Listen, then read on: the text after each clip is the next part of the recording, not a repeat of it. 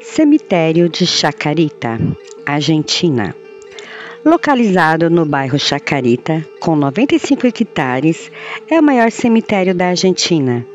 Além de obras de artes e esculturas, é um cemitério cheio de histórias. O cemitério de Chacarita nasceu como resposta à epidemia de febre amarela que atingiu a cidade, onde viviam cerca de 180 mil habitantes, na segunda metade do século XIX. Só em 1867 as vítimas fatais foram 1.633 e houve 5 mil afetados. As necrópolis desabaram devido à emergência sanitária e foi necessário a abertura de um novo cemitério. Em 1871 foram alocados 5 hectares de terras, do que é hoje o Parque Los Andes.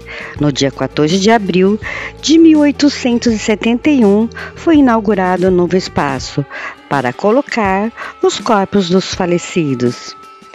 A nova metrópole foi rapidamente preenchida e por isso logo foi fechada.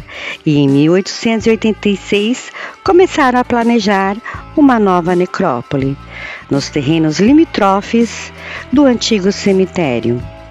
E a partir de 1887, os enterros começaram a ocorrer ali. Decidiu-se então exumar os corpos do, antigo cemitério e levá-los para o novo ossuário. Em 30 de dezembro de 1896, o cemitério começou a se chamar Cemitério del Oeste, mas era popularmente conhecido como Cemitério de Chacarita. A entrada principal é um grande peristilo de estilo neoclássico com 24 colunas. O pórtico principal tem uma alegoria do juízo final e no seu interior encontra-se uma reprodução de Pietà de Michelangelo.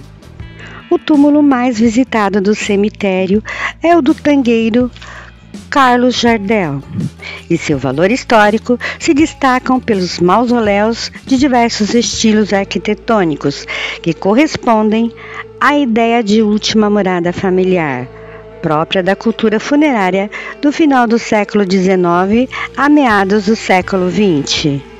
Lendas do táxi da morte. Conta-se que em 1978 uma mulher foi encontrada morta em cima da tumba de sua mãe. Dizem que a causa é porque chegou no cemitério com o táxi da morte, de placa RIP 666. Dizem que o táxi continua na fila dos táxis em frente ao cemitério de Chacarita.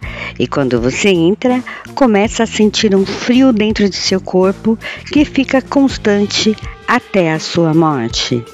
Depois o motorista se livra do falecido e aguarda a próxima vítima. Se você gostou, curta, comente, compartilhe.